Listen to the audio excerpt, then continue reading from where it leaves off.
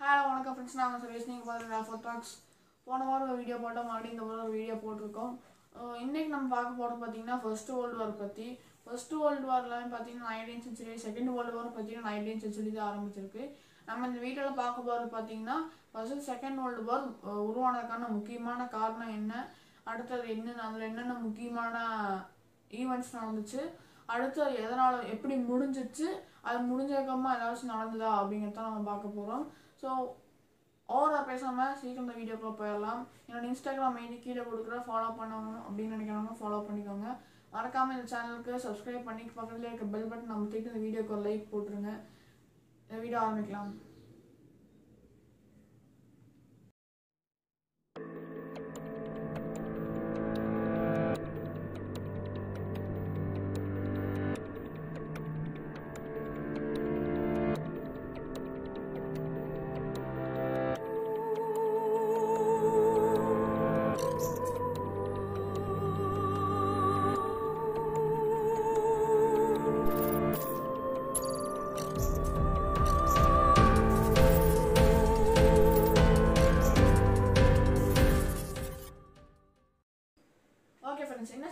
என்ன பார்க்காதீங்க அது நெட் ஷூட் பண்ணுறது இது இன்னைக்கு ஷூட் பண்ணுறது ஓகே இப்போ நம்ம வந்து ஃபர்ஸ்ட் இந்த வீடியோவில் நம்ம வந்து காசஸ் பற்றி பார்த்துடலாம் அப்புறமா வேர்ல்டு வார் ஒன்ல என்ன நடந்துச்சுன்னு அப்படி பார்க்கலாம் அடுத்த வீடியோவில் நம்ம வந்துட்டு வேர்ல்டு வார் ஒன் வந்து எப்படி எண்ட் ஆச்சு அதோட கான்சிக்வன்ஸ் என்னென்ன அப்படிங்கிறத பார்க்கலாம் ஓகே இப்போ வந்து நம்ம ஜெர்மனியோட ஜெர்மனி ஆரம்பித்த ஃபர்ஸ்ட் வேர்ல்டு வார் பற்றி பார்க்க போகிறோம் ஃபர்ஸ்ட் வேர்ல்டு வார் எப்படி ஆரம்பிச்சா அதோட மெயின் காஸ் என்ன அப்படின்னு பார்த்தீங்கன்னா ஃபர்டினண்ட் அவங்களோட கொலை தான். அவங்க வந்துட்டு ஆஸ்ட்ரியா ஹங்கேரியில் ஒரு ரோட்டில் போயிட்டு இருக்கும்போது அவங்க வந்து ஒரு பிளாக் ஹேண்ட் அப்படிங்கிற ஒரு மர்ம கும்பல் வந்து அவங்களை கொலை செஞ்சிருச்சு. ஸோ இதனால தான் Austria ஹங்கேரிக்கு Austria Hungary world war one start ஆகிறதுக்கான மெயின் காரணம் இதுதான் ஸோ மெயினாக நாலு காரணங்கள் இருக்குது அது என்னென்ன அப்படின்னு பார்த்தீங்கன்னா மிலிட்டரிசம் அலையன்ஸ் இம்பீரியலிசம் நேஷ்னலிசம் இந்த நாலு தான் பார்த்தீங்கன்னா மெயின் திங்ஸு ஸோ இந்த மெயின் திங்ஸில் ஃபர்ஸ்ட்டு பார்த்தீங்க அப்படின்னா மிலிட்டரிசம் மிலிட்டரிசமில் எல்லா கண்ட்ரிஸ் எல்லாமே மீன் மோஸ்ட்டாக ஜெர்மனியும் பிரிட்டனும் பார்த்தீங்கன்னா தங்களோட ஆர்மி மெட்டீரியல்ஸ் அதாவது சோல்ஜர்ஸ் சோல்ஜர்ஸ் ஆகட்டும் வெப்பன்ஸ் ஆகட்டும் ஆர்டிலரிஸ் ஆகட்டும் எல்லாத்தையுமே வந்துட்டு இம்ப்ரூவ் பண்ணும் அப்படின்னு நினச்சாங்க. அவங்களோட வெப்பன்ஸ் எல்லாத்தையுமே வந்துட்டு அப்படியே ஒரு ஹையர் கிரேடு கொண்டு போனாங்க. அவங்க ரெண்டு பேருக்குமே வெப்பன்ஸ்லேயே இந்த அளவுக்கு ஃபைட் ஆரம்பிச்சது. ஸோ அடுத்து பார்த்தீங்க அப்படின்னா அலையன்ஸ் அலையன்ஸில் ரெண்டு டைப் இருக்குது ஒன்று வந்துட்டு ஜெர்மனி ஆஸ்ட்ரியா ஹங்கேரி இத்தாலி இந்த மூணு ஃபார்ம் ஆனது பார்த்தீங்கன்னா ட்ரிபிள் அலையன்ஸ் அப்புறம் அடுத்து பார்த்தீங்கன்னா ரஷ்யா பிரிட்டன் அப்புறம் ஃப்ரான்ஸ் இந்த மூணு ஃபார்ம் ஆனது பார்த்தீங்க அப்படின்னா ட்ரிபிள் என்டிட்டி ஸோ இந்த ரெண்டு பேர்த்துக்கும் தான் பார்த்தீங்கன்னா ஃபைட் நடக்க ஆரம்பிச்சுது.